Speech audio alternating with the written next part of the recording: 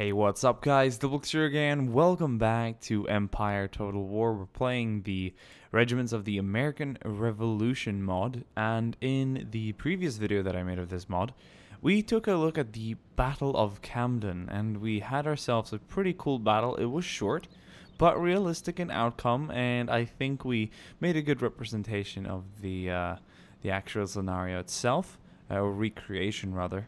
Um, and I enjoyed it. It was very short. I've got ourselves, or we have ourselves now in front of us, a different battle, Battle of Cowpens, where I played as the Continental Army.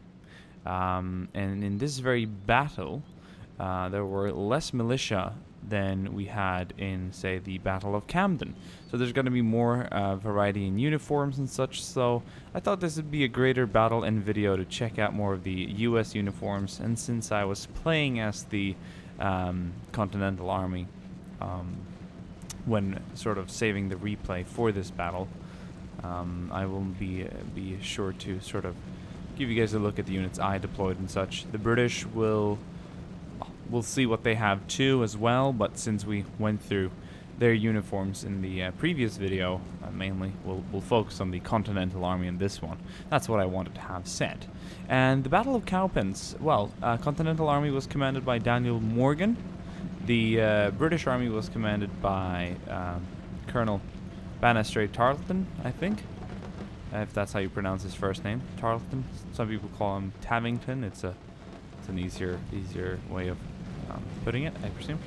Um, so we have here some Continental regulars from the north. Love the uniform.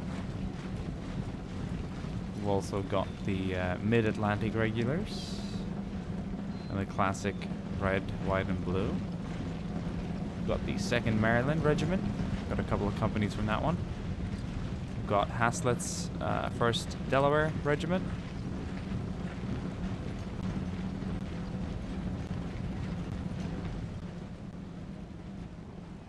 Whoa.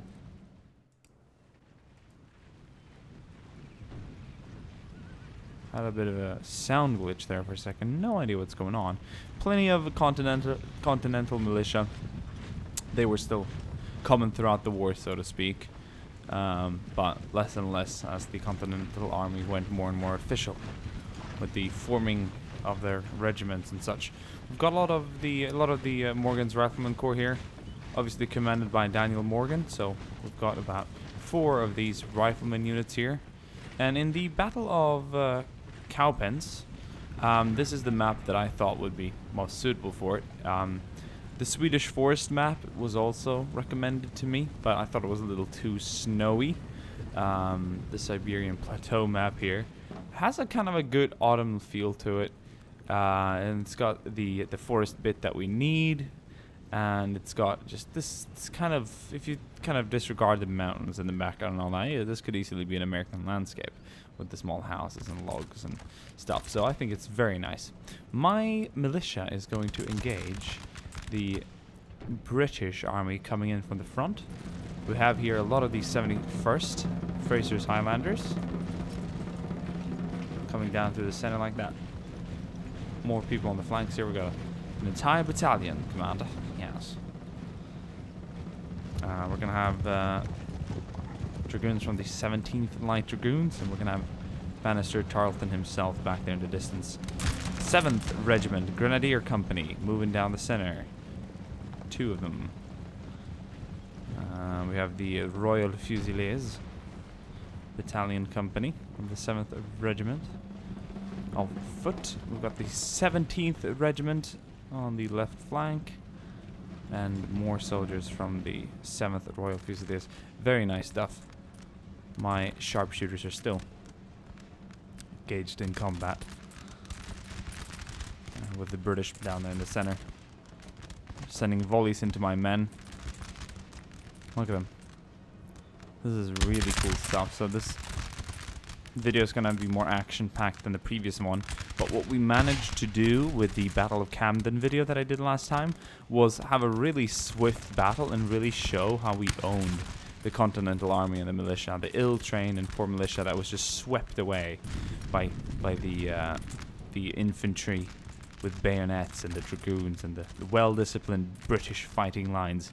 Uh, it was just such a good display, and in the movie The Patriot, which you know you can, all, in all fairness, say what you want about that movie, but the scene where pretty much the entire right flank retreats on the, the U.S. lines, with the dra dragoons coming out through the British center, charging down the uh, militiamen fleeing, and obviously the 33rd Foot and everyone else there on the, that side, the 23rd Welsh was there as well, charging in with bayonets. So now we have the um, Daniel Morgan's Rifleman Corps retreating back behind the Continental Militia, which is forming the second line.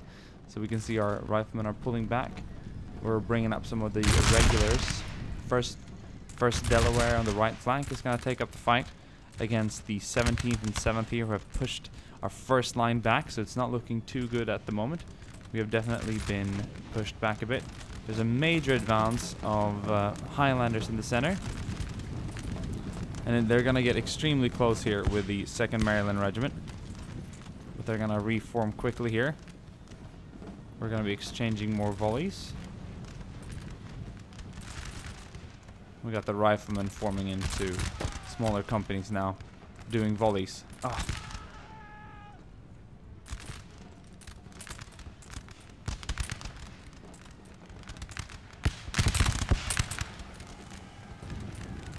Lots of Brits coming closer now. Starting to kind of push us back.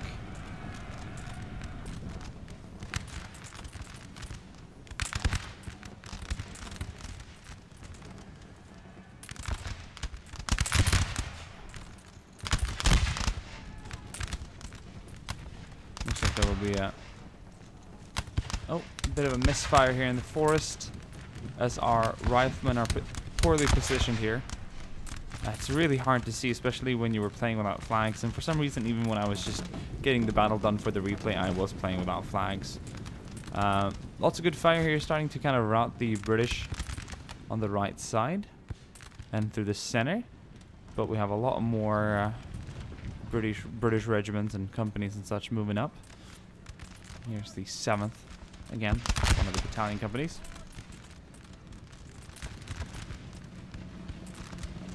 We're going to reorganize our line and bring up the militia and a lot of the riflemen here from uh, General Daniel Morgan's own Rifleman Corps. Or Commander Daniel Morgan, I'm not sure if he was a general at the time. Left flank, 2nd Maryland Regiment together with Continental Militia, or Continental, not Continental. I used, I did, I did say Continental a lot in the previous video, but was uh, righteously corrected more units from the center that have broken off.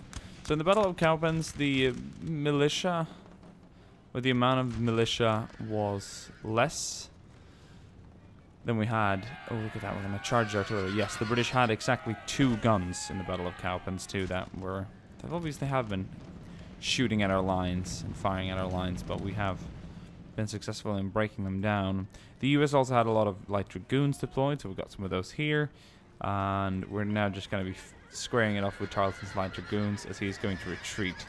Banastre Tarleton is going to retreat himself, commander of the British forces this day.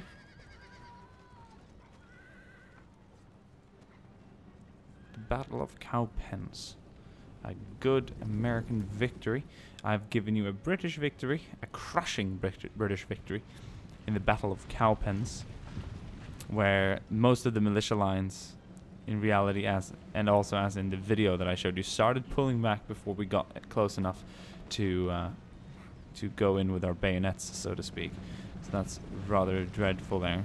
But that was many years before the Battle of Cowpens I believe. Um, and now this. A different continental army. And Gates wasn't commanding I presume Hmm. There's a cool little resistance on this left side here. Where we have some troops from the 7th uh, Royal Fusiliers.